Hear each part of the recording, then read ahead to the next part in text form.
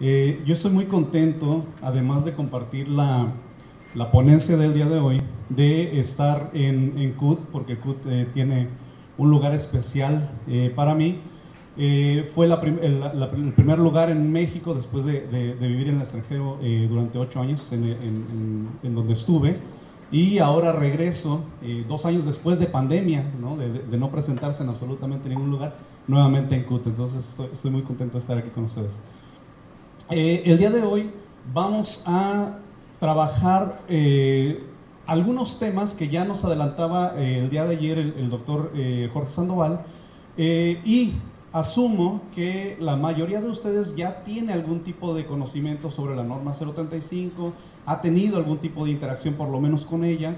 Entonces el objetivo del día de hoy de, de este taller es em, manosear un poco como la maquinaria interna, digamos, de, de, de la norma. ¿Qué exactamente mide?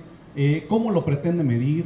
¿Y qué significa, eh, digamos, eh, los resultados que, que, nos da la norma? ¿no? Eh, de repente se ha, de alguna forma, tecnificado, ¿no? La, la, la, aplicación de la norma es, se aplica el cuestionario, se revisa la semaforización que nos da la norma y, y se siguen algunos consejos de ahí. Entonces, básicamente lo, lo, lo, que pretendo el día de hoy es eh, sí aclarar algunos conceptos eh, teóricos, porque es importante, pero también eh, agregar algunos otros temas importantes que me parece eh, son relevantes en este caso para el ámbito educativo. Entonces va, va, vamos, vamos viendo si... ah, por cierto, otra cosa. las diapositivas que tengo el día de hoy son, son muchas. En realidad es, es un taller de aproximadamente tres horas por lo menos.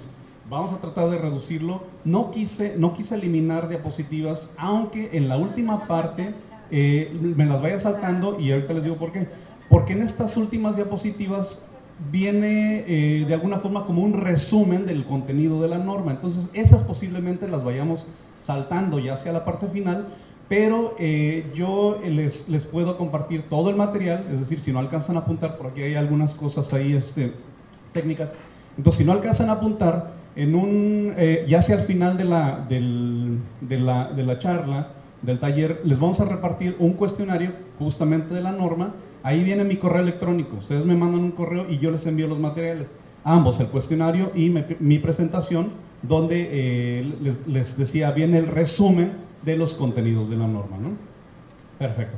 Eh, bien, entonces, siempre cuando hablamos de trabajo y y particularmente, por ejemplo, ahora eh, trabajando con la Organización eh, Panamericana de la Salud y la Organización Mundial de la Salud, lo que nosotros eh, estamos tratando de hacer con ellos es integrar el trabajo como un elemento esencial dentro del modelo de los determinantes sociales de la salud. Es decir, hay, hay, hay todo un modelo que plantea la OMS sobre el acceso a la salud, sobre el ingreso eh, económico, sobre en las condiciones de vivienda, todos estos elementos que son importantes y de alguna forma predicen eh, los posibles desenlaces de salud a los que estamos expuestos. Eh, el trabajo generalmente eh, ha sido relegado y lo que nosotros estamos tratando de hacer es integrarlo a este modelo porque el trabajo a su vez determina también dónde vivimos, cuánto ganamos, con quién nos relacionamos, si tenemos o no acceso de salud, ¿no? Entonces, es por eso que, estamos haciendo esta parte.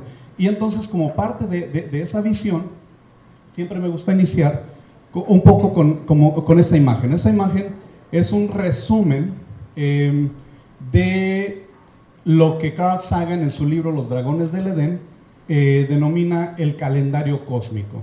Entonces, lo que, lo que Carl Sagan nos dice es que si nosotros pudiéramos comprimir la historia del cosmos, la historia del universo, en un solo calendario, eh, durante los 365 días normales que nosotros tenemos, pues básicamente se resumiría así como está aquí. No, no, no, no me voy a detener como en cada uno de ellos, pero básicamente lo que quiero es apuntar, apuntar más hacia la última parte, ¿no?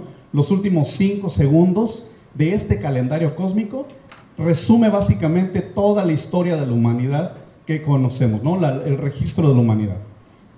Y entonces, si nos vamos ya en, los microsegundos, ¿no? En la última parte, pues básicamente ahí está la, la, revolución industrial, ¿no? La, última revolución industrial del trabajo. Entonces, básicamente lo, lo, que yo quiero em, dejar con esto es cómo el trabajo ha cambiado vertiginosamente en los últimos años, en las últimas décadas, y cómo esta, esta capacidad de adaptación que nosotros tenemos ha sido eh, sobreexigida, ¿no? Es decir, la, historia de la humanidad, pues realmente considerando este calendario cósmico, pues es, bastante, bastante amplia.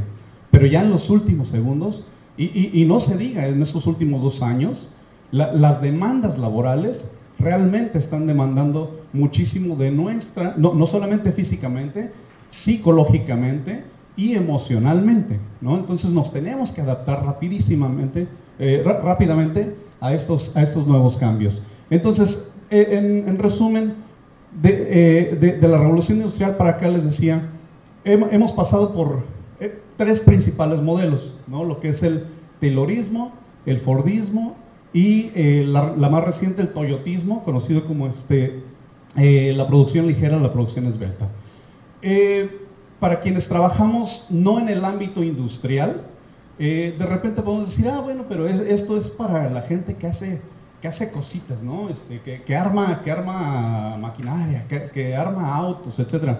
Sin embargo, eh, yo no sé si ustedes eh, pueden de alguna forma pensar su lugar de trabajo y cómo es que algunos de de esos conceptos han permeado en lo que nosotros hacemos en recursos humanos, en educación. En mi caso, por ejemplo, en, en, la academia, eh, hablamos nosotros de, del, del, taylorismo académico, ¿no? de, de, esta, de esta sobreproducción de ciencias, de, textos académicos, donde, digamos, los, los, los, científicos e investigadores de antaño, pues publicaban un libro, publicaban dos, dos libros eh, básicos y esenciales que contribuían muchísimo y que siguen contribuyendo al conocimiento científico de hoy. Pero ahora en la academia, a, los investigadores en las universidades se les exige 10 artículos, 15 artículos por año para mantener cierto estatus, cierto nivel, o, eh, lo, que nosotros conocemos como el, eh, SNI, ¿no? Este, para, para, continuar siendo parte del Sistema Nacional de Investigadores. ¿no? Entonces, este, este tipo de trabajo obviamente es imposible que un solo investigador produzca 15 nuevos materiales de investigación en un año. ¿no? Entonces, obviamente, se, se, recurre al esfuerzo eh, colaborativo, ya sea con otros investigadores, el, el uso de, de, la fuerza manual e intelectual de los estudiantes, ¿no? y entonces no, nos terminamos en un modelo de maquila académica. ¿no? Eh, y, y, en, y, en, el sistema educativo pasa algo similar, ¿no? es decir, el, el mismo sistema educativo nos exige que tengamos un mayor número de, estudiantes que ingresen a nuestros centros educativos y que todo el proceso nos permita egresar el mayor número de, estudiantes con las capacidades, obviamente, que exige el, mercado laboral. ¿no? Entonces, eh, no, no, no queda, digamos, exento algunos de estos, de estos eh, conceptos, de, estas... Em, eh, eh, procesos, digamos, productivos en distintos ámbitos eh, del trabajo, e, insisto, incluyendo la, parte eh, académica y educativa. Pero en general, ¿qué es, lo que, ¿qué es lo que exige la modernidad de nosotros? Esencialmente, vemos que cada vez hay menos recursos, hay menos recursos naturales, ah, hay crisis mundiales, hay, hay, hay, una alta demanda eh, y exigencias, insisto, materiales e intelectuales, que en resumen lo que hacen es que nos piden hacer más con menos, con la mayor, con la mayor rapidez y calidad posible. Y esto, eh, insisto, se une al, resumen del, del, calendario cósmico que yo les mostraba al inicio. Entonces, la, demanda es altísima para todos, ¿no? en, el trabajo, eh, eh, y, obviamente esto se extiende a las otras, a las otras esferas, como nos comentaba ayer el, doctor Sandoval, ¿no? Se, se, permea esferas del hogar, de, las sociales, ¿no? Entonces la, la, demanda es impresionante. ¿Cuáles son las consecuencias de estas demandas? ¿Qué se les ocurre? Estrés, ¿correcto? Estrés. Y digamos que el estrés es básicamente el, foco central de la norma 035, ¿no? Incluso cuando se comenzó a anunciar la, norma, decían, va a salir una norma donde van a multar a tu, a tu empleador si te estresa, ¿no? O si tú estás estresado, ya lo vas a poder demandar, ¿no? Entonces, de alguna forma se volvió como el tema central el estrés. Vamos a ver un poquito sobre esto. Ahorita lo que les voy a pedir, por favor, es eh, en, la hojita donde, eh, que les repartieron o en, un lugarcito donde ustedes tengan eh, en, sus, libretas, por favor escriban dos cositas. ¿Cómo saben ustedes cuando están estresados? Todos, todos hemos dicho en algún momento, es que tengo mucho estrés. ¿Cómo saben ustedes que, que, que estén estresados? ¿Qué les dice a ustedes que están estresados?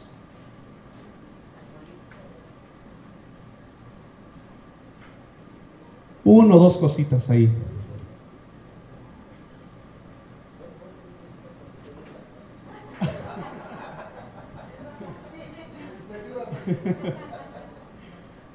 Pero más bien, ¿cómo identifican ustedes el estrés?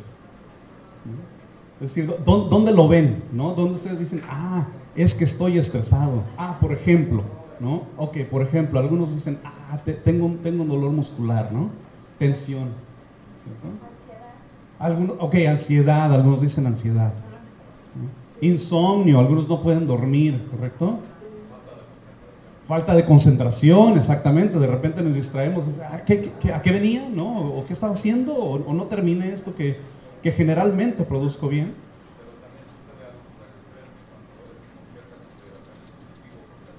Ah, excelente. También, eh, eh, eh, vamos a llegar a ese punto, también hay, hay, un estrés positivo, correcto. De acuerdo. Que es motivante, que nos reta. Perfecto. ¿Alguien más? ¿Perdón? Gastritis, ¿no? Ok, de repente uno dice, ay, como que estoy enamorado, ¿no? No, no, ya ya es gastritis, ese hueco en el estómago. ah, a, veces, exactamente, de repente uno comienza a comer de más, ¿no? Porque dice, ay, es que tengo mucha hambre, ¿no? Uf, son problemas gastrointestinales, ¿no? ¿Algún otro? ¿Sí? Ah, ok.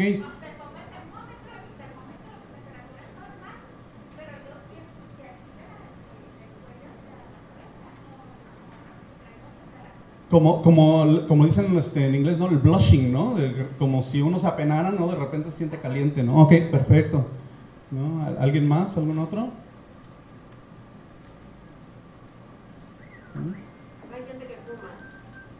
¿Tomar? Fumar. Ok. Bueno, tomar y fumar. Se llevan muy bien, se, se acompañan. Perfecto. ¿Algún otro? Ah, eh, ok, algunas personas eh, comienzan a perder cabello, ¿no? Este, comienzan a tener este, ronchas en la piel, ¿correcto? Este, eh, se les comienzan a pelar, ¿no? tienen algunas zonas donde este, se comienza a pelar un poquito la piel, etcétera, ¿no? Exacto. Entonces, todas estas eh, manifestaciones nosotros las asociamos con el estrés, ¿correcto? Pero, ¿qué es específicamente el estrés? Es decir, el que, el que a mí se me caiga el, el que a mí se me caiga el cabello no necesariamente quiere decir que sea estrés, ¿no? Es una manifestación eh, somática pero no necesariamente es estrés. Podría ser una, una, cuestión médica, ¿no? Y entonces es importante que identifiquemos este proceso, ¿no? Porque realmente el, estrés, más que un concepto, más que una enfermedad, es un proceso.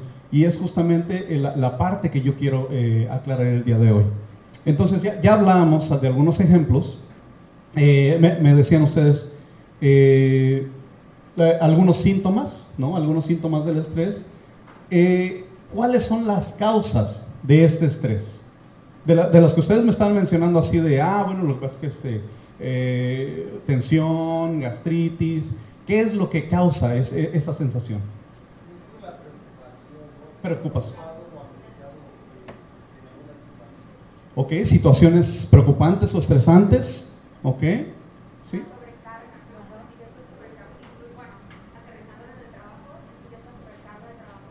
Sentirse abrumado de que son demasiadas cosas, ¿no? Una sobrecarga de trabajo, perfecto. ¿no? Esas, esas serían como las causas, ¿correcto? ¿Algo más? ¿No? A ustedes particularmente, piensen en su trabajo, en, realidad en su trabajo, sí. Ajá.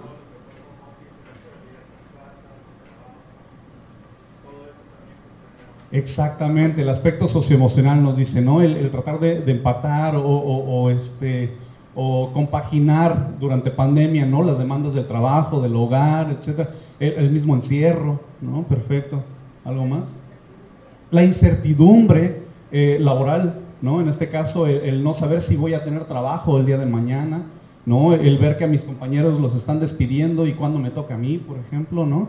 Eh, eh, em, nosotros en factores psicosociales le llamamos inseguridad laboral y para nuestros compañeros especialistas en seguridad y salud en el trabajo, la inseguridad laboral es la posibilidad de sufrir un accidente, ¿no? Pero en este, en este caso, para los factores psicosociales es inseguridad laboral.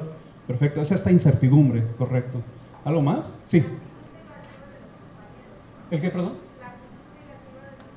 Ah, el clima laboral, exactamente, las relaciones interpersonales en el lugar de trabajo, ¿correcto?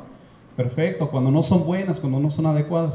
Perdón que no vaya hasta allá, ¿eh? pero si, no el micrófono me va a hacer... Este, ¿Algún otro? ¿No? ¿Algo más? ¿No les estresa en nada su trabajo, de verdad? Solamente algunos.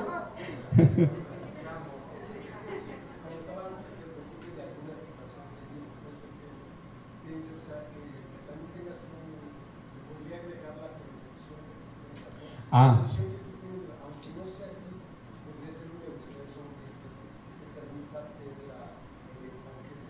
Ah, perfecto. Ya estamos agregando, me, dice, tiene que ver también con la percepción, es decir, que hay cosas que te pueden preocupar o te pueden angustiar, pero depende cómo, cómo uno lo percibe, ¿no? Este, cómo uno ve, digamos, esta demanda.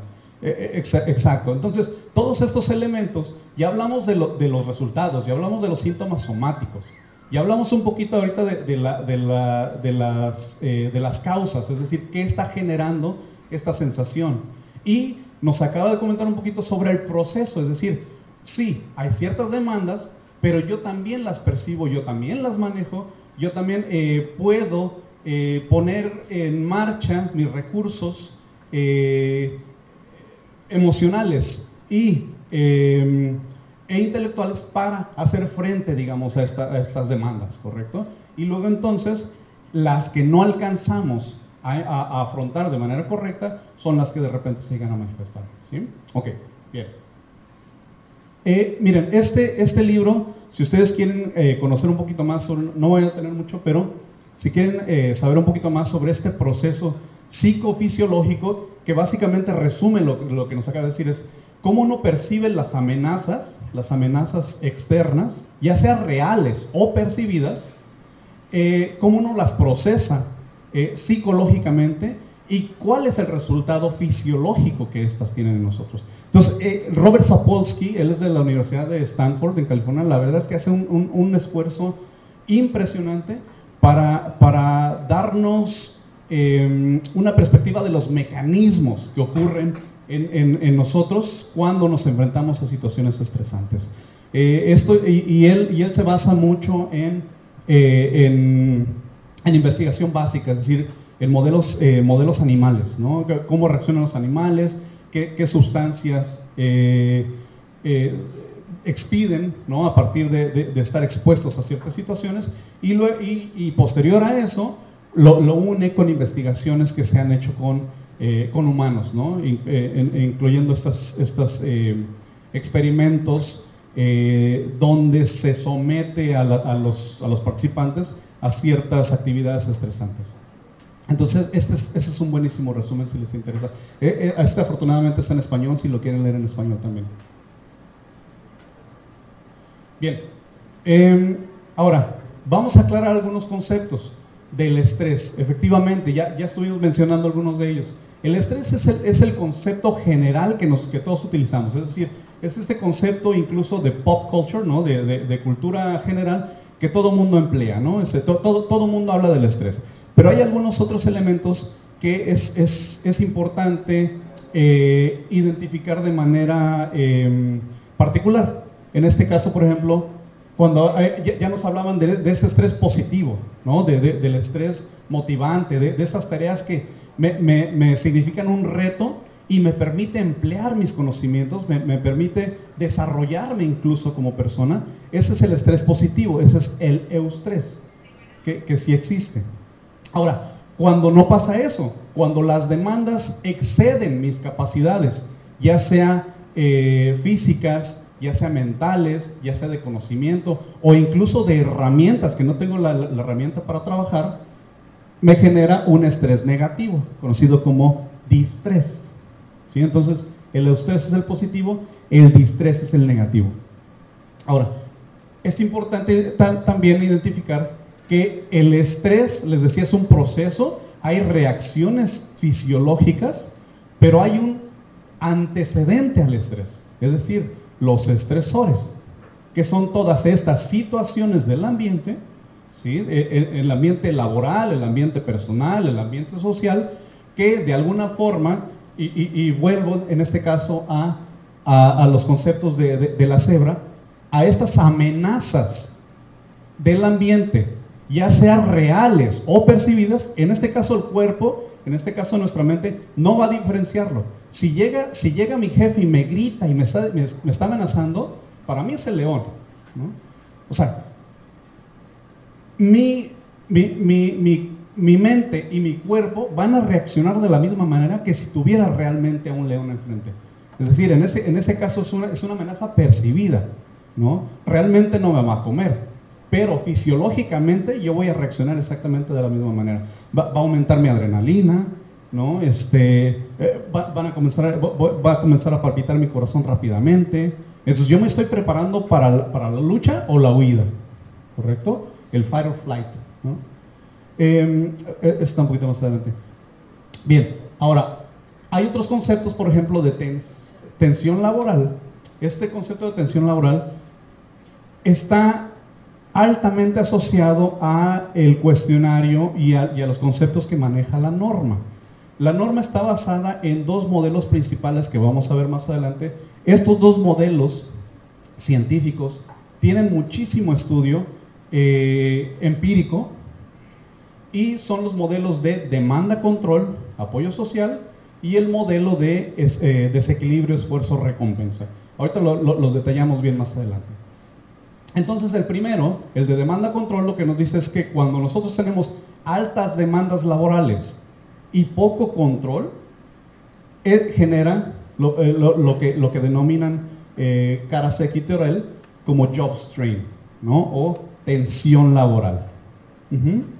Entonces, este es un modelo de estrés, es decir, nos está hablando de las condiciones laborales que pueden tener un impacto en, eh, en mi salud y generar estrés o generar respuestas de estrés. ¿sí? Okay. Hay otro elemento por ahí más, eh, eh, hay, hay, otro elemento que nos falta todavía por agregar a esto, es decir, no solamente es la amenaza, no solamente es la amenaza real o percibida, sino que ésta sea sostenida. Y lo, lo, vamos a ver también más adelante. Y bueno, ya hemos venido discutiendo sobre los síntomas del estrés, ¿no? Es decir, generalmente cuando hablamos de estrés, nos enfocamos muchísimo en las consecuencias, es decir, estoy estresado, ¿cómo sabes? Es que me duele la cabeza. Estoy, estoy muy estresado, ¿cómo sabes? Ay, es que no me puedo estar en paz. Entonces, eh, generalmente identificamos el estrés como sus consecuencias, como la sintomatología. ¿sí? Entonces, ahorita vamos a ver, insisto, todo ese proceso. Entonces, esos son algunos de los conceptos básicos. Ya, ya teóricos, digamos, más hacia atrás, pues obviamente estamos hablando de la teoría de, de la lucha huida, que ya les mencionaba, eh, Hans Helle hablaba del síndrome general de adaptación. Él hizo experimentos con ratas o hacía experimentos con ratas y les inyectaba eh, un, suero para tratar de comprobar o generarles úlceras, digamos, a las, a las ratas. ¿no? Entonces estaban tratando de identificar qué es lo o, qué ácidos eran los que les generaban este, úlceras a las personas. Y en este caso eh, hacían este, los experimentos con ratas. Sin embargo, lo que, lo que ellos descubrían es que independientemente del suero, independientemente de lo que, de lo que le inyectaran, todas las ratas desarrollaban úlceras. Dicen, ¿qué pasa? ¿No? ¿por, qué, ¿Por qué todas? Y, esto, y esto em, eh, ustedes también eh, habrán escuchado, me imagino, del efecto Hawthorne, ¿no? el Hawthorne Effect, ¿no? que es eh, en, las, eh, en, la en la producción, en la productividad, cuando hubo un experimento donde se les cambiaban las condiciones de trabajo a las, a las personas, se aumentaba, se disminuía la luz y de cualquier forma, independientemente si había mucha luz, había poca luz, producían más. O, o, se cambiaban las condiciones de temperatura, por ejemplo, ¿no? Se ponía más frío, más caliente, e independientemente de la temperatura, la producción aumentaba. Bueno, este efecto es debido a que cuando nosotros nos sentimos observados, generalmente tenemos un mejor desempeño. Entonces, pues siempre hay, una tercera variable que descubrir cuando, cuando estos fenómenos ocurren. Entonces decían, bueno, ¿qué pasa entonces? ¿Por qué, por qué estas ratas que nosotros estamos inyectando, independientemente del suero con el que los inyectemos, están desarrollando úlceras? Bueno, eh, pues básicamente en el proceso descubren que el manejo de las ratas pues, los estresaba. ¿no? Y entonces él llamó justamente a ese síndrome, todavía no estrés, el estrés ya, ya eh, tomó forma, digamos, más adelante, él lo llamó el, síndrome general de adaptación. ¿no? Es decir, que eh, como hay un sobreesfuerzo por el organismo para adaptarse a las demandas que le están haciendo, bueno, pues en algún momento eh, van, a, van a desarrollar ciertas enfermedades y en este caso particular, pues serán úlceras. Entonces, en este caso el estrés lo podríamos definir como un estado mental o físico subjetivo que resulta de la exposición a uno o varios estresores, es decir, no, no, solamente es uno. Y la respuesta fisiológica a un estresor, ¿no? Entonces, hay una respuesta.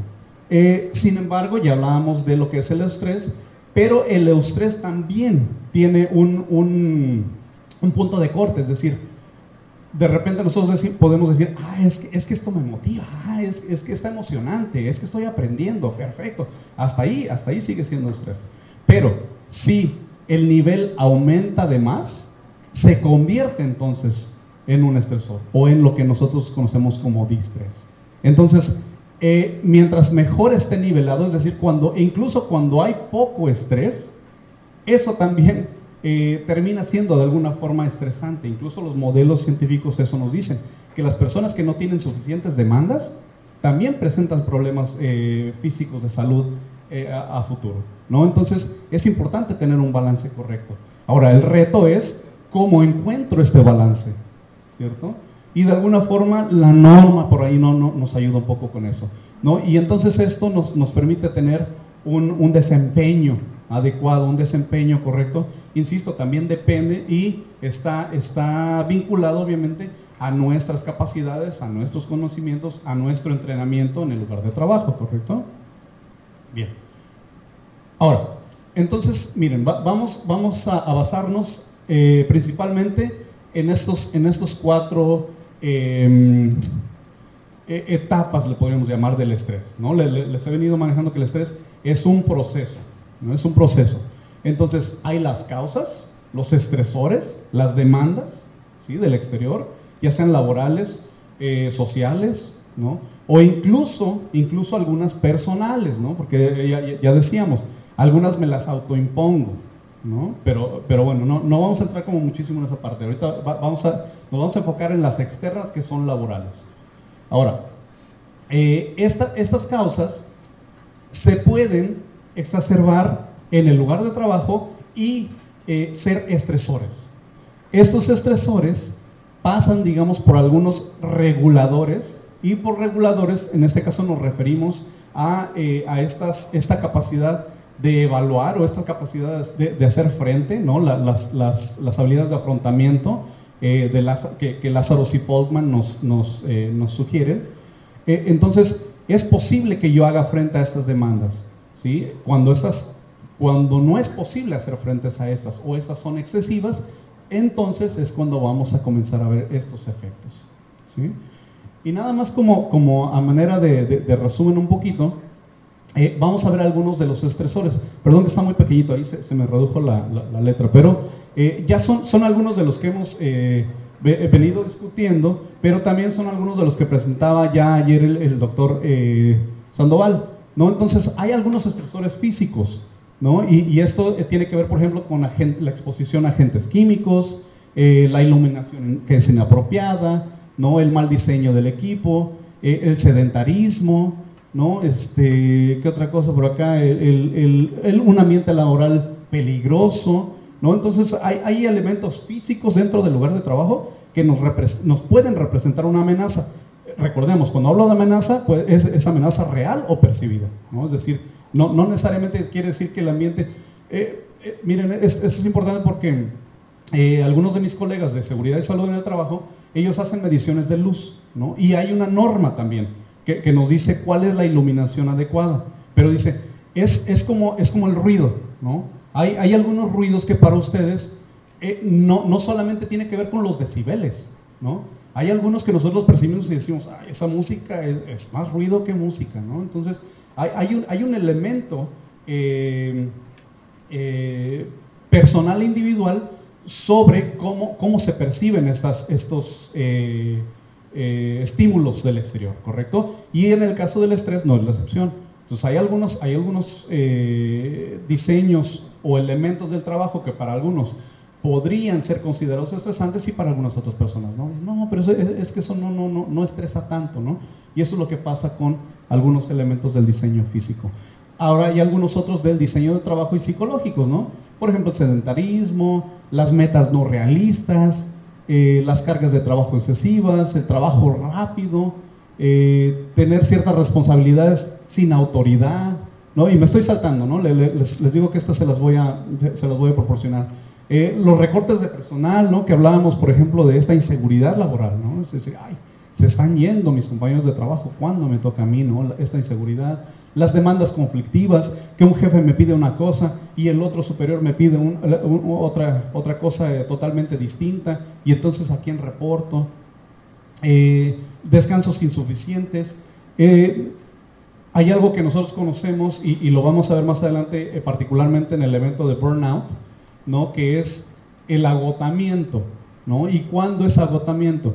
Eh, todos ustedes habrán experimentado el cansancio excesivo, ¿no? De repente, ah, sabes que tuve una jornada terrible, pero a diferencia del agotamiento, este cansancio excesivo, al momento de que nosotros tengamos un descanso reparador, le llamamos, ¿no? Es decir, ah, bueno, al otro día, o, posiblemente al siguiente, ¿no? Pero ya estoy listo, ¿no? Es decir, ya me recuperé de esas demandas, ¿no? En, este caso, eh, el no tener justamente esos descansos para repararnos física y psicológicamente de esas demandas, pues obviamente también son, son, eh, son considerados este, estresores.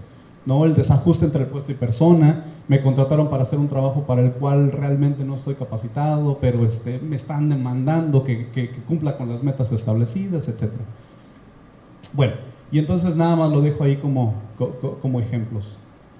Este es el modelo, y, retomo las cebras a propósito de, Robert Sapolsky, de eh, cuándo se vuelve esto un problema. Les decía, de repente puedo tener un conflicto con mis compañeros de trabajo, ¿no? me puedo pelear con ellos y ah, paso, un, paso un momento desagradable, me siento mal, me enojo, este, incluso hasta el otro día me puede durar, pero si es un evento aislado, termina acá.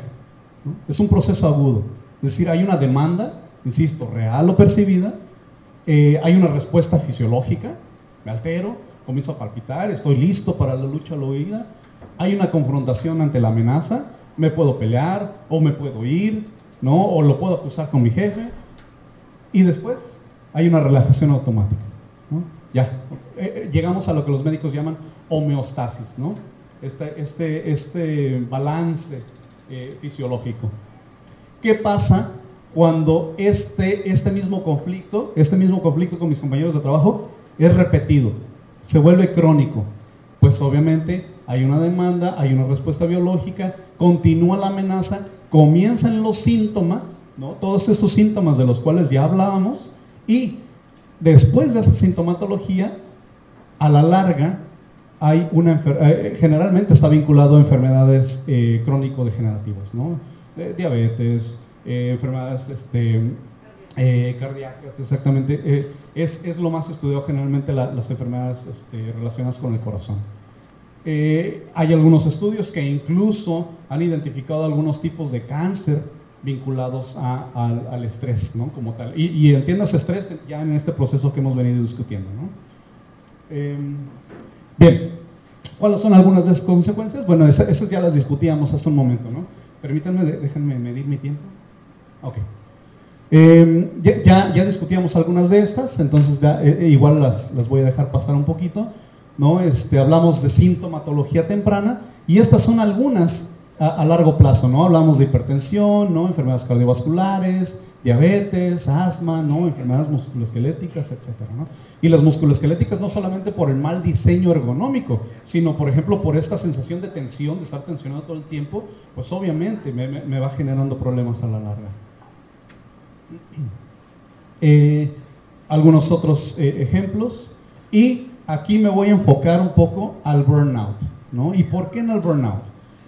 Básicamente porque es uno de los conceptos más estudiados en los ámbitos educativos y también en el ámbito de salud. Entonces, muchos de los estudios publicados originalmente y que se continúan es con maestros o profesores y con eh, enfermeras. Los médicos no, porque generalmente no participan mucho como en, las, este, en, el recogimiento de los datos, ¿no? pero las enfermeras son muy participativas. Entonces, de hecho, hay dos, hay dos eh, em, instrumentos principales, ¿no? que es el, el, MBI, que es el que vamos a ver hoy, posiblemente eh, varios de ustedes lo conozcan, que es el Mass Like Burnout Inventory, y ese em, está el, GS, que es el General Survey, que es para todos los, los, empleos, y hay uno de salud, el HS, Health, uh, Health Services uh, Survey. ¿no? Entonces, eh, vamos, vamos, a ver el, general. Ya particularmente sobre la norma, es decir, ya, ya sabíamos, eh, pues ustedes ven, ¿no? Desde los 20 ya se venía trabajando esos temas de, eh, de estrés laboral. ¿qué, ¿qué, existía en México? Pues antes de la norma realmente no mucho. ¿no? la OIT y la OMS puso atención sobre este tema y lo único que nos dio fue una definición, o, hasta ese momento nos dio una definición de los factores psicosociales, ¿no? los factores psicosociales en el trabajo, que em, si me, no, lo voy a leer porque tengo el, diagrama un poquito más adelante, aquí. Entonces básicamente lo que nos dice la, la, OMS es que los factores psicosociales en el trabajo son las interacciones entre el medio ambiente del trabajo, la satisfacción en el trabajo y las condiciones de la organización, es decir, todos esos elementos que hemos venido discutiendo como estresores, ¿correcto? Que en este caso, en interacción con las capacidades y necesidades del trabajador, las costumbres y su cultura y las condiciones personales fuera del trabajo, pueden derivar en problemas de salud, en problemas de rendimiento en el trabajo y problemas de satisfacción en el trabajo. Entonces, estos son los elementos que considera en este caso la, la, OMS. ¿sí? Pero básicamente lo que nos está diciendo es este, este proceso que hemos venido discutiendo sobre estrés, ¿correcto? Hay demandas, hay, hay formas en las que yo lo puedo afrontar, dependiendo de mis capacidades, dependiendo de mi cultura, dependiendo de, de, de, mi, de mi forma de pensar incluso, o qué tan, eh, o qué tan amenazante lo percibo o no. ¿sí? Y esto puede tener un desenlace en salud, ¿correcto? Y por desenlace en salud, como veíamos hace, hace unos minutos, puede ser las eh, consecuencias inmediatas, somáticas, o ya incluso problemas crónicos de salud. ¿sí? Bien. Pero entonces, hasta 2018 en México, se... Eh, se publica la norma 035, ¿no? que es, que es a, lo que venimos el día de hoy.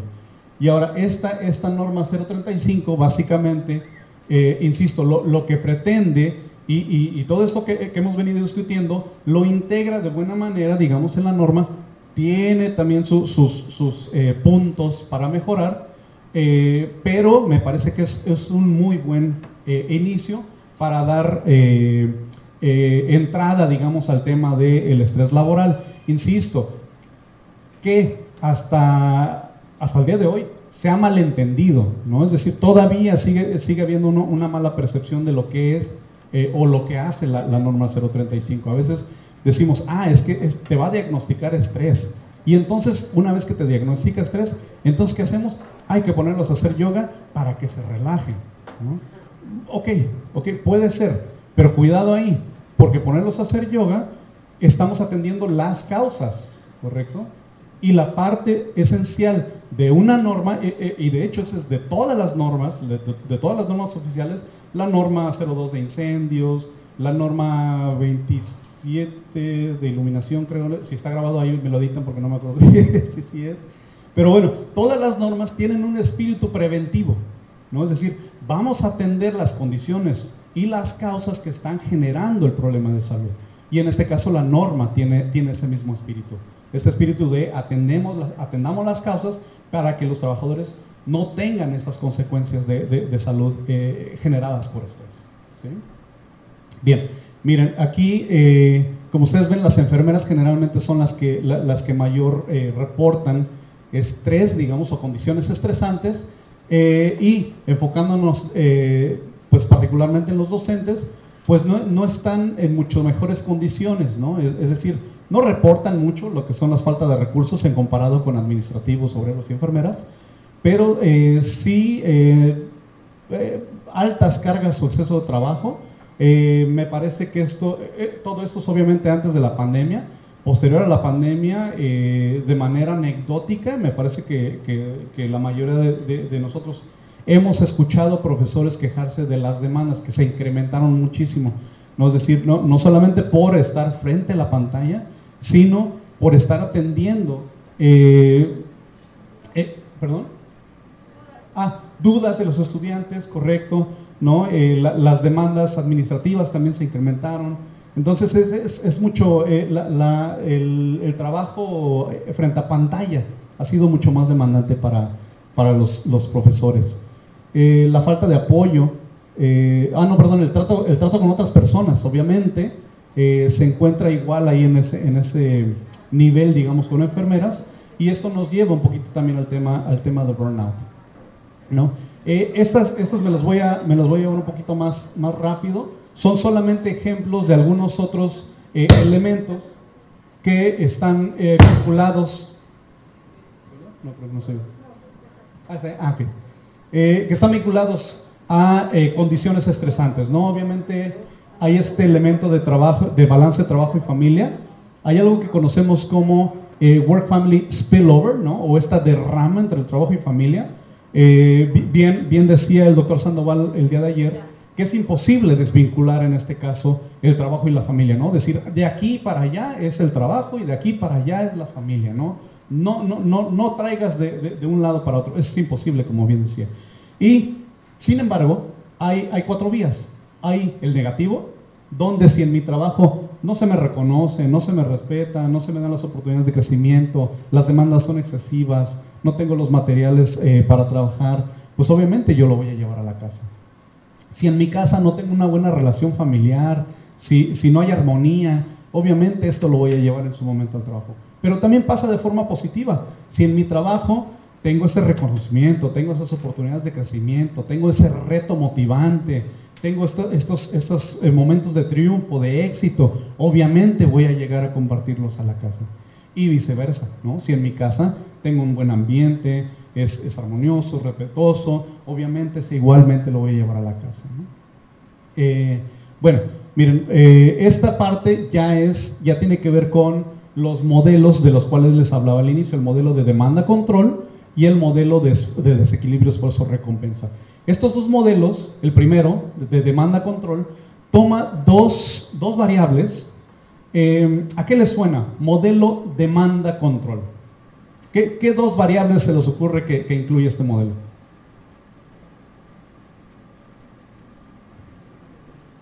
Modelo demanda-control. La demanda y el control, ¿correcto? Son esas dos variables. Y esas dos variables las miden justamente la, norma 035. Hay, hay, una, hay una sección que mide demandas laborales y hay otra sección que mide el control laboral. ¿no? Y el control laboral no, no, se refiere a esta posibilidad de decidir cómo hacer mi trabajo, decidir un poco los tiempos. ¿no? Entonces, esta percepción de control es súper importante, es un amortiguador realmente de las altas demandas laborales. ¿sí? Entonces, por eso se incluyen estos dos. Entonces, cuando no hay un balance entre estos dos o no hay suficiente control, pues se genera justamente este modelo de tensión laboral que, que, ya, que ya, mencionábamos hace un momento. ¿no? Entonces, bueno, las demandas laborales eh, no nos vamos a detener, eh, creo, que, creo que queda más o menos claro que son todas esas exigencias del trabajo. ¿no? El control eh, es, es, un poquito más interesante. Fíjense que este también viene a partir de modelos, modelos de animales, ¿no? modelos de experimentación animal, donde a algunos animales a los cuales se someten al estrés, al darles la posibilidad de detenerlo, aunque no necesariamente lo detengan, y esto se ha hecho también con humanos, con estudiantes, se les pone a hacer una tarea estresante y se les dice, eh, no sé, eh, se les pone a hacer un, rompecabezas, por ejemplo, con un ruido, ¿no? con, un ruido este, eh, distractor. Y se les dice, completa, completa la tarea. A quienes no tienen ninguna posibilidad de, quitar el ruido reportan muchísimo más estrés que a quienes se les dice, si se vuelve demasiado estresante el ruido, puedes apagarlo. Pero trata de terminar la tarea sin apagarlo. Entonces, incluso a quienes no, aprietan el botón, con el simple hecho de tener esta posibilidad de controlar el ambiente, reportan muchísimo menos estrés que aquellos que no tienen opción, que no tienen control. Entonces, eh, por, eso les, comento que es, un, concepto psicológico bien, bien interesante.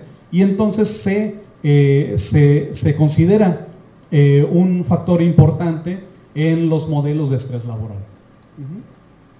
Y bueno, posteriormente eh, Jeffrey Johnson a ese modelo de demanda control agrega este elemento del apoyo social. Dice, bueno, además de, este modelo de tener altas demandas, pero tener control, agregamos el apoyo social entre los compañeros y el apoyo social que recibo de mis supervisores. Y en la primera parte, el que es de el margen de decisión o control y de la exigencia psicológica, básicamente lo que nos dicen eh, Robert Karasek y, y, Terry Storell, nos dice que cuando hay alto, alto margen de decisión y poca exigencia psicológica, podríamos estar hablando de, cuatro cuadrantes, en este caso eh, del cuadrante de poca, de poca tensión. Cuando hay poco control y pocas demandas, pues estamos hablando de trabajadores aburridos, ¿correcto? Pues no, no, no, no me exige el trabajo, pero yo tampoco puedo decir si, si, si, propongo, ¿correcto? Que este también es estresante. ¿Qué tenemos, eh, a, qué apuntamos? A sí, a que las demandas sean, sean altas, sean moderadas, pero tener alto control. ¿Qué pasa cuando tengo altas demandas y poco control? Pues es justamente este, este modelo de tensión laboral que nos, nos significa en su momento un riesgo de enfermedad física. ¿sí? Entonces, ese es el modelo de demanda control, apoyo social, que estos tres elementos o estas tres eh, dimensiones vienen incluidas eh, eh, en la norma. Bien, este es el otro, este es SIGRIS, el modelo de desequilibrio, esfuerzo, recompensa. Igual que el primero, ¿qué, em, variables creen ustedes que mide el modelo de desequilibrio, esfuerzo, recompensa? Exacto. El esfuerzo y la recompensa, ¿cierto? Ahora, y el desequilibrio entre ellas. Entonces, eh, por el esfuerzo nos, referimos igualmente a las demandas del trabajo. ¿sí? Entonces, en este caso, em, cuando las, las demandas son demasiadas, son excesivas, y la recompensa que yo recibo no, no es equivalente a este esfuerzo o estas demandas, pues obviamente se genera estrés. Y ahora, eh, la recompensa no se refiere únicamente al salario, sí es, es una parte, pero nos incluye Sigris, además del salario, la estima, que se refiere al reconocimiento que yo recibo de, mi trabajo, y a las posibilidades de, em, de, mejorar en el empleo, es decir, este estatus, este eh, la, posibilidad de movilidad, ¿no? este, las oportunidades que yo recibo en el trabajo. Entonces, a todo eso se refiere el salario. Hay algunos otros eh, investigadores que lo han denominado eh, también como salario emocional, ¿no? Probablemente lo habrán escuchado. Exacto. Entonces, e, es, es uno de ellos, ¿no? Ahora, Eh, a, mí, a mí me confundía esta imagen, ¿no? Es decir, ah, pero es que el esfuerzo es alto y la recompensa es baja. Bueno, básicamente es esto, ¿no? Se refiere a que eh, el esfuerzo es excesivo, ¿no? Es mucho más pesado y no se compensa, digamos, con la recompensa que uno recibe, ¿no? Entonces, a eso se refiere el modelo. Bien, y hay otros, otros conceptos también de estrés laboral que no, eh, por ejemplo, este no viene eh, propiamente contemplado en la norma, solamente algunos de ellos, que es la inseguridad laboral, ¿no? es decir, esta, esta posibilidad de perder mi trabajo. Pero también hay algunos otros elementos eh, considerados en, lo que ahora modernamente conocemos como precariedad laboral. Tradicionalmente este se ha enfocado a trabajos eh, excesivamente peligrosos, ¿no? Como la minería, etcétera. Dicen, ah, es que son trabajos precarios, ¿no? En este caso, eh, ya de manera más moderna se habla de precariedad laboral cuando las condiciones de trabajo, eh, no, cuando hay esencialmente inseguridad ¿no? en el empleo. Y bueno, hay algunos otros elementos. Este, este me parece importante traerlo a colación porque justamente quienes trabajamos con personas, particularmente los docentes, pues tienen también una demanda de lo que llamamos trabajo emocional, ¿no? Emotional labor, ¿no? Que es esta eh, necesidad de proyectar, ¿no? Ante, ante el cliente o ante los estudiantes una, una, una, actitud positiva, ¿no? Una actitud conducente al conocimiento, ¿no? De poder transmitir, etc. Entonces, hay alta demanda emocional también en los, en los, eh, en los docentes. Eh, hay algunas otras condiciones de trabajo, eh, insisto, en estas me voy un poquito más rápido, nada más son ejemplos, del mobbing, ¿no? que es un tipo de bullying, ¿no? de, bullying laboral, pero el mobbing pues contempla en este caso, viene más bien del inglés del mob, ¿no? que es la pandilla, ¿no? el mob, y entonces el mobbing se refiere a este trabajo en conjunto de, cierta, de ciertos grupos laborales que hostigan particularmente un trabajador. Y puede, puede ser de, par a par, es decir, de, trabajadores a otro trabajador, o incluso hacia un superior. ¿eh?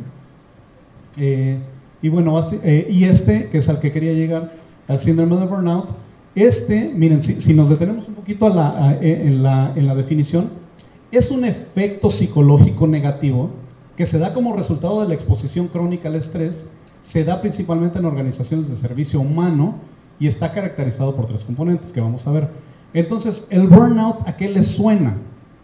¿Es un estresor? ¿No?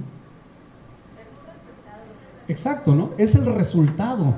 Es el resultado del estrés. Entonces hay que tener cuidado porque hay algunas personas que lo están, eh, lo, miden y dicen, ah, estoy midiendo estrés. No, no, no, no, estamos midiendo estrés, estamos midiendo el efecto que tienen las condiciones organizacionales ya mentalmente en los trabajadores. Entonces, tengamos, tengamos cuidado un poco con este. Ya, ya, ya que conocemos este proceso, cuando hablamos de burnout, estamos hablando de consecuencias del estrés. Obviamente, antes, antes del burnout habremos pasado ya por algunos otros síntomas, ¿correcto? Los síntomas de los cuales ya, ya, habíamos discutido antes. Y bueno, principalmente está, está basado en tres, en tres dimensiones.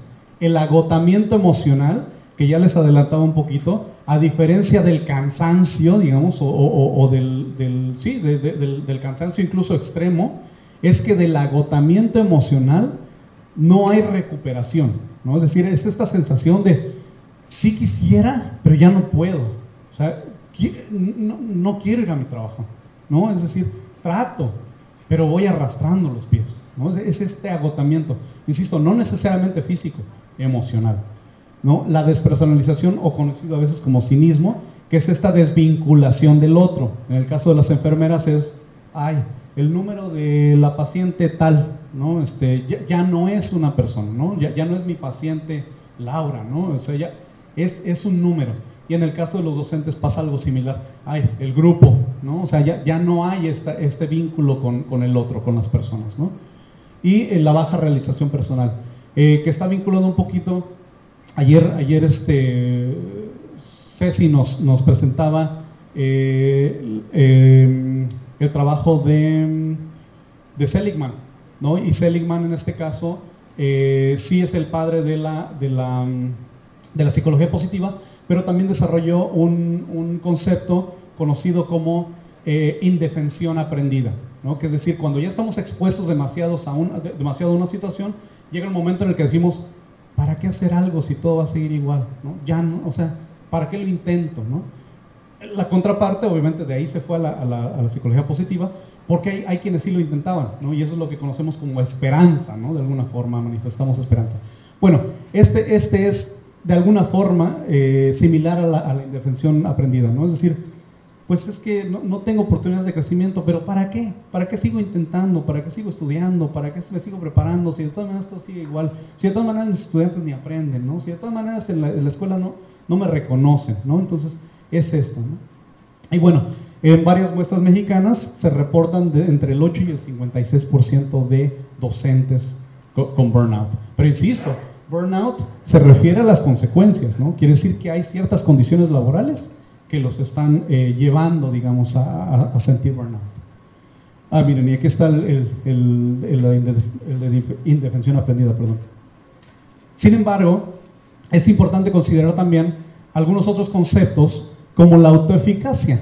Este, este concepto de, Albert, de, Albert Bandura eh, es esta idea de siento que sí puedo, ¿no? Es decir, y, la autoeficacia es un, es un concepto predictor de, de, cambio comportamental. Es decir, cuando, eh, por ejemplo, se ha trabajado mucho con fumadores. Los fumadores que reportan alta autoeficacia, es decir, creo que sí puedo dejar de fumar, tienen mayor éxito que las personas que tienen una, una baja autoeficacia, ¿no? Y este también está eh, asociado, perdón, a, a, la, a, la, a, la, realización personal, ¿no? La autoeficacia. Bien, hay, hay, algún, hay elementos también positivos, ¿no? El, este, el engagement, este igual me lo, voy a, me lo voy a saltar ya para llegar a la parte de, de la práctica.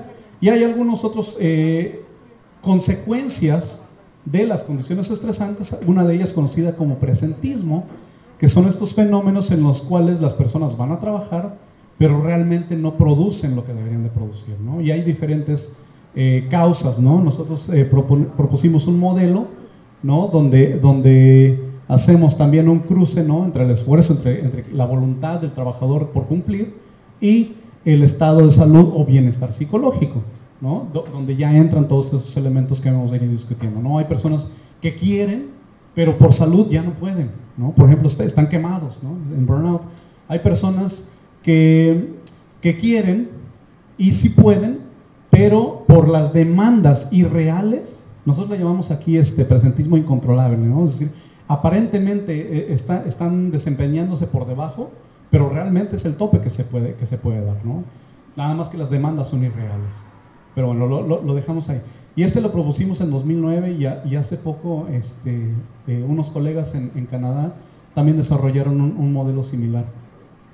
Bien, entonces ya, ya, entrando a la norma, y esta es la parte donde les, les decía que les voy a compartir las diapositivas porque viene básicamente un resumen de qué es la norma y qué contiene la norma, ¿no? Sobre las obligaciones de, de los patrones, por ejemplo, los, las obligaciones de los trabajadores, eh, ¿a qué se, eh, ¿Cuál es el objetivo de la norma? ¿no? Que es identificar y analizar los puestos de trabajo, identificar a los trabajadores que fueron sujetos a acontecimientos traumáticos severos, ahorita vemos que es esa parte, adoptar medidas preventivas, eh, practicar exámenes y evaluaciones clínicas, informar a los trabajadores sobre sus situaciones y obviamente llevar estos registros de las evaluaciones que nosotros hacemos. Pero básicamente también es evaluar todas esas condiciones de trabajo que son conducentes al estrés, ¿no? a este estrés positivo. ¿no? Eh, y, eh, ah, miren, este, este no, se, no, se, lo voy a mostrar, pero les, les describo. Eh, en la parte de eventos traumáticos severos, ¿no? De, decimos, bueno, eh, en general en, la, en, en, en las empresas se consideran los eventos traumáticos severos no sé, por ejemplo, un trabajador que sufre una amputación, ¿no? Ese es un evento traumático severo para el trabajador, pero no solamente para el trabajador, sino para quienes son testigos de, del evento, ¿no? O para quienes trabajan en un banco y son asaltados, ¿no? Este, hay, hay, incluso casos de secuestro, todos esos son eventos traumáticos severos que se tienen que atender básicamente porque tienen una consecuencia de estrés postraumático. Es, es lo que intenta en este caso la norma, dar atención a estos trabajadores que ya están presentando eh, consecuencias como el estrés eh, postraumático. Y el video que yo tenía acá, que insisto, se los dejo en, las diapositivas, pues es básicamente esta maestra donde una balacera, ¿no? Y, tranquiliza a los niños, les canta, ¿no? Probablemente habrán escuchado de, de, este video, ¿no? Este, hace como poco más de 10 años, ¿no? Y eh, bueno, este es un evento traumático severo. Obviamente, eso es mucho antes de la norma, no lo consideraba, ¿no? Pero en, hoy en día a esta maestra, incluyendo a los estudiantes, se les tendría que dar atención justamente para atender ese evento y asegurarse que no está teniendo em, eh, eh, repercusiones o manifestaciones como de estrés, de, estrés postraumático. Bien. Eh, aquí es nada más un comparativo entre la norma que, nosotros tenemos, la 035, y algunas otras normas en, otros países y, e internacionales, ¿no? como la OIT. sobre la extensión, eh, y estas son las que yo les decía que nos vamos a ir más rápido para, que, para darles eh, tiempo de contestar. Les voy a pasar el cuestionario de la norma. Gracias. Sí, uno para qué. Perfecto.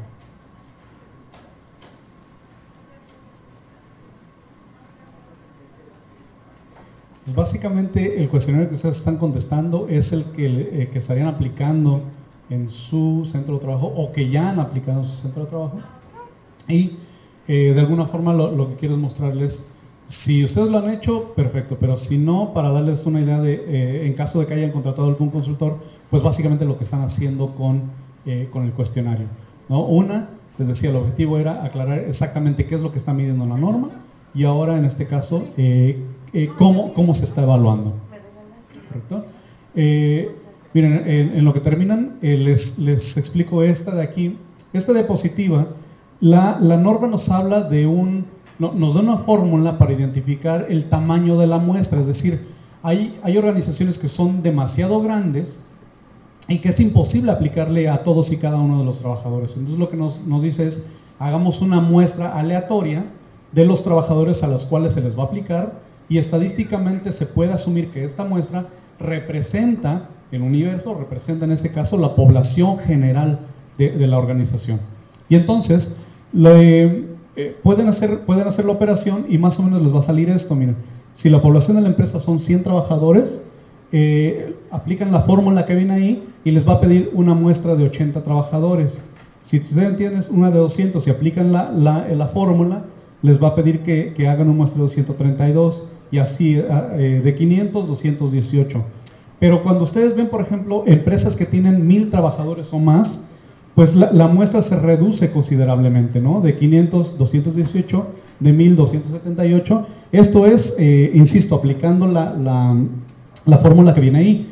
Entonces la sugerencia nuestra es que si a partir de 1000, si son 500 trabajadores en la empresa, en, en la organización, traten de aplicarlo a todos los trabajadores. Es decir, el esfuerzo para aplicar 200 a 132, pues realmente no, no, reduce tanto el esfuerzo ni el material, ¿correcto? Pero aquí sí, si yo tengo 4.000 trabajadores, 351 comparado con 4.000, pues realmente ahí sí implica muchísimo esfuerzo, muchísimos recursos. ¿No? Entonces, nosotros eh, sugerimos, digamos, este, este punto de corte. ¿no? A partir de 1.000 trabajadores, apliquemos la fórmula. Tenemos menos de 500 trabajadores, tratemos de aplicar absolutamente a, a toda la organización. ¿no? nos va a dar muchísimo más información, información más rica, que si sacamos una muestra, porque la muestra siempre, siempre tiene cierto, cierto rango de error, ¿correcto? Aunque podemos asumir estadísticamente que esta muestra representa lo que el resto de los trabajadores nos estarían reportando, no necesariamente es así, ¿no? Hay, cierto margen de error, insisto. Entonces tratemos de aplicar absolutamente a todos los trabajadores. Entonces esa, esa este, eh, me parece que es, que es importante, es un buen consejo. Bueno, y aquí ya estamos hablando de las acciones de prevención, pero quiero llegar a, a la evaluación. Eh, miren, de, la guía de referencia 1 les decía que tiene que ver con la evaluación de estrés postraumático esencialmente. en la norma viene que si contestan sí en, la primera sección, bueno, entonces hay, que, tenemos que, revisar qué contestaron en, la segunda sección. Estoy hablando de la guía de referencia 1. Si contestaron eh, sí a más de tres preguntas, entonces hay que enviarlos a una atención médica porque están presentando síntomas de, de, estrés postraumático. Y así con el resto de las secciones. Eh, si contestaron eh, sí en dos o más, por ejemplo, de las preguntas de la sección 4, igual es necesario dar atención psicológica, porque aquí estamos hablando de las consecuencias, ¿correcto? Aquí no vamos a hacer una intervención organizacional, porque son casos particulares a los trabajadores que fueron expuestos. Ok, ahora, esta parte ya es de la guía de referencia 3. En la guía de referencia 3, eh, ustedes ven en el cuestionario y en las preguntas que iban contestando, algunas están marcadas con un asterisco. ¿sí? Esas preguntitas que están marcadas con un asterisco, si ustedes las leen, verán que están redactadas eh, en, un sentido positivo. ¿sí? Por ejemplo, ah, ya, no tengo uno, pero a ver, ayúdenme con el primer asterisco. La primera pregunta que aparece con un asterisco. El espacio donde trabajo me permite realizar mis actividades de manera segura e higiénica. Exacto. El, lugar de trabajo me permite realizar actividades de manera segura e, e higiénica. Higiénica, ¿correcto? Está, redactado de manera positiva, ¿correcto? Pero la norma lo que está haciendo es evaluar los riesgos psicosociales. Entonces, lo que hace es voltear ese ítem. Es decir, el trabajo no me permite trabajar de manera segura e higiénica. ¿sí? Entonces, esos que están marcados con asterisco generalmente se recodifican. Es decir, que si yo contesté que siempre, o sea, siempre, eh, si yo puse un cero ahí, no, eh, eh, exacto, está, bien. Ah, ah, la 3 aquí, al revés, sí, perdón. La 3. Si yo, si yo contesté que nunca, que nunca me permite trabajar, se convierte en un 4. Si yo contesté ahí que siempre me permite trabajar de manera segura e higiénica, se convierte en un 0. ¿Sí? Entonces a eso, eso nos referimos con recodificar. Ahorita, ahorita hacemos el ejemplo. Entonces vamos a ver la primera parte que son las cargas, eh, perdón, las condiciones del ambiente, ¿sí? este dominio que son de los ítems 1 al 5. Entonces, miren, hagan por favor la, operación.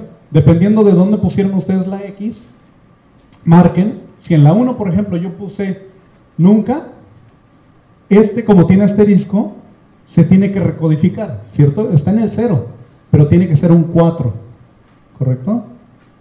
El 2 no tiene asterisco, entonces si yo puse 3, es 3. El 3 no tiene asterisco, el 4 tiene asterisco. Considero que en mi trabajo se aplican las normas de seguridad y salud en el trabajo. Yo pongo un 3, por ejemplo, y este 3 se convierte en 1.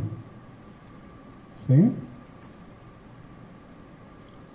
Entonces hagan esa recodificación con los ítems que ustedes marcaron, eh, o con el número que ustedes marcaron ahí, y hagan la suma, por favor. De las preguntas 1 a las 5. Ah, sí, pero, ahorita estamos con esta nada más. Ahorita estamos con el ambiente de trabajo. Porque las otras, las otras miden otros, otros. Ahorita nada más de la 1 a la 5. Estamos midiendo el ambiente de trabajo. Y si no tienen inconveniente, me comparten el resultado.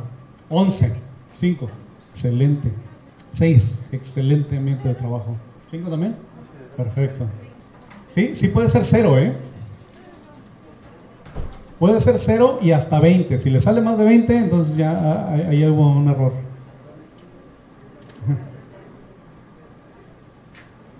Entonces el rango es de 0 a 20. ¿3? Ok, perfecto. 9, excelente. Ok, de todos los que me, me, han comentado hasta ahora, tienen un buen ambiente de trabajo, por lo que escucho, ¿correcto? Tres, ok, muy bueno. Porque estamos midiendo el riesgo, ¿correcto? Estamos midiendo el riesgo de, este, del ambiente de trabajo. Entonces, entre menor sea el número, hay, hay, hay, un mejor ambiente, digamos, seguro en el lugar de trabajo. Entre más se acerque al 20, pues hay mayor riesgo. Y es justamente lo que nos dice la norma. Nos da, nos da algunos puntos de corte, nos dice, bueno, si en el ambiente de trabajo, miren, ese es el primero, es menos de 5, quiere decir que no hay riesgo. El riesgo es nulo o despreciable. O sea, no lo podemos ignorar. Realmente no hay riesgo. Eh, entre, entre 5 y 9 es bajo. entre 9 y 11 es medio, entre 11 y 14 es alto, y arriba de 14 es muy alto el riesgo, ¿sí? El riesgo del ambiente de trabajo. Perfecto. Ahora, creo que ya no nos da tiempo, pero algo similar sería con el dominio de la carga de trabajo. Miren, eh, si, ustedes lo, lo, quieren hacer más tarde, suman de la 6 a la 16, de la pregunta 6 a la 16, y le agregan la pregunta 65 a 68. Entonces hacen exactamente el mismo ejercicio, van sumando el resultado y los que tengan asterisco, esos los van recodificando, que en este caso no hay ninguno con asterisco, entonces ninguno se recodifica. Exacto, todos, si ustedes los leen, están redactados de manera negativa. Si ustedes leen y hay alguno redactado en forma positiva, tiene que haber un asterisco y entonces habría un error, pero creo que no. Eh, no, todo, todo está, está directo, aquí no hay que recodificar nada. Bien, y entonces una vez que yo hago toda esta sumatoria, pues básicamente me dice que eh, la carga de trabajo si es menos de 15, quiere decir que la carga de trabajo es aceptable, ¿no? La, carga, y entendamos carga de trabajo por demandas, ¿cierto? Del, modelo de demanda control que, hemos venido discutiendo.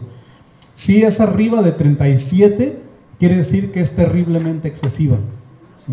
Y en algún otro momento vamos a ver también, por ejemplo, el control, ¿no? Miren, eh, aquí la falta de control, ¿no? Entonces, si estas dos si hay altas demandas, si hay alta carga de trabajo y poco control, ¿no? Hay una falta de control, pues obviamente se va a detonar este modelo de, eh, de, job strain, ¿no? De, tensión laboral que hemos venido discutiendo y obviamente ya, ya, platicamos extensamente sobre las posibles consecuencias, ¿no? Eh, también en, en, el, en las hojas les agregué yo el cuestionario de burnout, como, les decía también, como, este, como una posible consecuencia de la exposición a las condiciones estresantes de trabajo. Y ahí vienen también una tablita con los puntos de corte. Ahí lo que se tienen que hacer es, recuerden que hay tres dimensiones, ¿correcto? La dimensión de agotamiento, suman todas esas, la dimensión de cinismo o despersonalización, que es con la C, esa está en la, En, la segunda, en la segunda hojita. Eh, pasan la guía de referencia 1 y en la segunda hojita es, es, el, es el, cuestionario de, de síndrome de burnout. Ah, es que no viene numerado, ¿no? Ah, ese es, exacto. Exacto. Entonces, ustedes ven que cada, que cada ítem o cada pregunta tiene una letra en paréntesis. Las de A están midiendo agotamiento, las de C están midiendo cinismo o despersonalización y las de E están midiendo la, eficacia, ¿no? O, la poca realización personal. ¿sí? Y entonces lo que hace uno es que suma todas las A's, suma todas las C's y suma todas las eh, E de manera individual. La A, pues como ustedes ven, son cinco ítems, ¿no? Son cinco preguntas de A. Entonces el resultado de la A lo dividen entre cinco. ¿sí? La C 4. Entonces la C igual, suman todas las Cs y lo dividen entre 4. Y la E son 6. Suman todas las E y lo dividen entre 6. Y esos numeritos les van a dar un número que va a caer entre los rangos que vienen en la tablita de abajo. Y entonces les va a decir cuánto burnout está presentando ya los trabajadores. De hecho, la recomendación que nosotros hacemos siempre para, para, para la, detección de factores de riesgo psicosocial es un trabajo eh, mixto, cuanti-cualitativo, es decir, con entrevistas y eh, numéricamente con el cuestionario. Hay que tomar en cuenta, por favor, que el cuestionario no es un diagnóstico individual. El cuestionario es un diagnóstico de las condiciones de trabajo. Y el burnout, el, diagnóstico de burnout, igual no, no es el burnout individual de cuánto sacó ese trabajador, sino cuánto burnout se reporta en mi empresa, en mi organización. ¿no? Tengo, tengo trabajadores quemados Ya si queremos hacer un trabajo individual, sí se recomienda en este caso justamente hacer algún, eh, algún seguimiento individual con los trabajadores. ¿sí? Pero, este, pero sí, eh, muy, muy buen punto. ¿eh? consideremos que lo que la norma hace es evaluar las condiciones de trabajo y las posibles consecuencias de la exposición a estas condiciones de trabajo, ya sea por estrés postraumático o en este caso yo les agrego, por ejemplo, de burnout, que por definición es el resultado de la exposición a estas condiciones laborales, ¿correcto? Entonces no lo tomemos como un diagnóstico personal, eh, pero sí podemos efectivamente dar atención a estos trabajadores que hemos detectado ya en su momento que eh, pues ya, ya, está siendo un problema incluso de salud para el mismo trabajador y obviamente para la integridad de la organización. ¿sí? Muchas gracias por la pregunta. Gracias. Bueno, y yo lo dejo hasta ahí porque creo que ya estamos sobre tiempo, pero este, no sé si tienen alguna duda, alguna pregunta.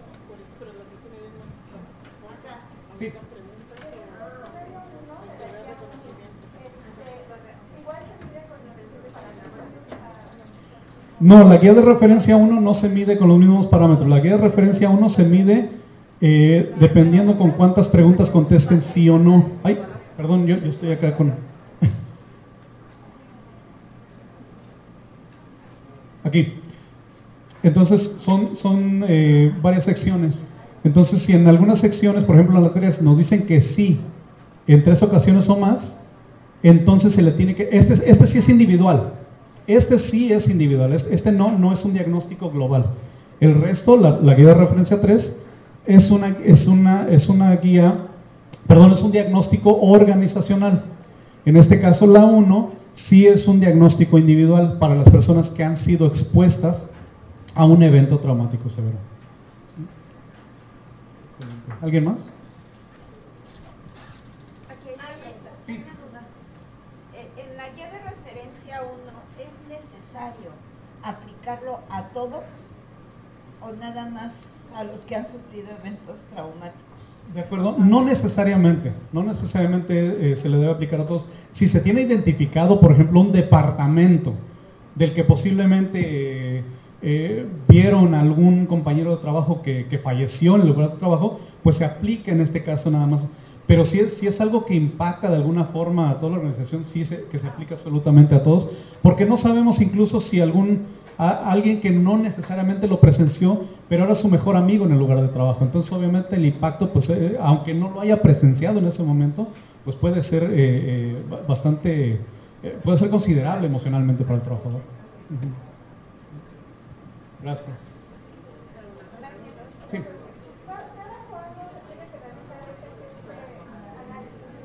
Ok, la, la, recomendación de la norma es que cada dos años se haga el análisis, pero eh, y, básicamente lo, que, pretende es que una vez que nosotros hagamos el diagnóstico, nos dé tiempo para hacer intervención, es decir, hay que hacer cambios en donde el cuestionario, donde la norma nos esté diciendo que son eh, áreas de oportunidad dentro de la organización. Y una vez que yo haga estos cambios, pues es importante que yo lo vuelva a medir eh, eh, óptimamente con el mismo instrumento, porque el mismo instrumento me, me va a estar diciendo si hubo un cambio o no a partir de la intervención que yo hice. Entonces eh, eh, serían dos años.